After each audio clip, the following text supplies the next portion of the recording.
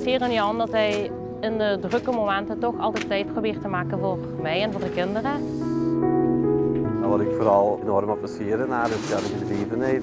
De markt doen, wat niet zo evident is voor een vrouw. En dan in combinatie met de mama zijn, wat toch altijd, denk ik, onderschat wordt.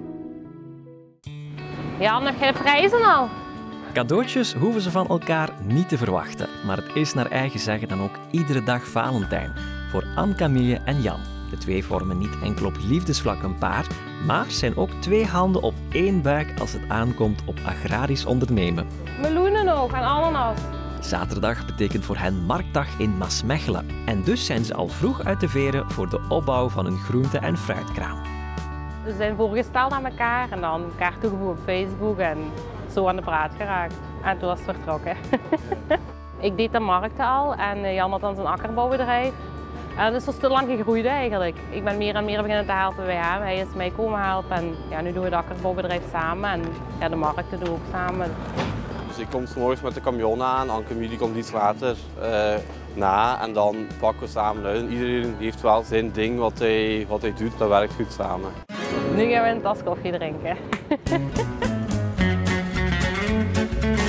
Om allebei de familiebedrijf, dus dat was eigenlijk al ah ja, voorbestemd dat we elk dat bedrijf zouden verder zetten. En ja, de markt is dan een goede combinatie van de twee samen. Dus al ja, Voordeel, je ziet elkaar de hele dag, toch bijna de hele dag. Natuurlijk, daar horen de nodige discussies bij. ja, dus al ja, het is elkaar aanvullen en langs de andere kant ook weten wanneer je dat vooral niet moet doen. En als je dat evenwicht gevonden hebt, dan Zet je komt het goed. Hè?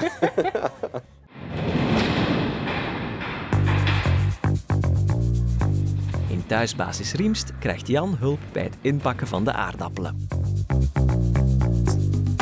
Dus wij verpakken eigenlijk aardappelen, wortelen en juinen en dat leveren we aan de supermarkten en de winkels. En die verkopen we ook zelf op, ons, op ons markt. Dus we verkopen eigenlijk onze eigen producten. Eh, en daarnaast doen we traditioneel eh granen, suikerbieten. Goed kijken hè. Je eigen producten verkopen op de markt is natuurlijk altijd een surplus en dat is een waardering van het werk dat je erin steekt. Kan ik helpen, meneer? Zeg hem maar.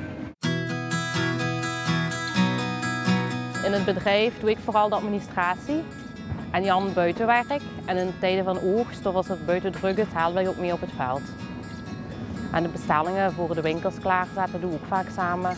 Dus we vullen elkaar aan waar het nodig is eigenlijk. Voilà.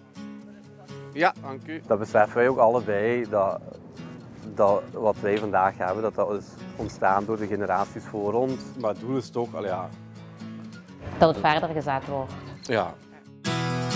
We hebben twee dochters, ik sta nu met, met één vrouw op de markt, maar ik hoop toch in de toekomst er met drie te staan. Allee, ik, allee, ik zou dat toch fijn vinden, ja. Allee, goed weekend, bedankt hè.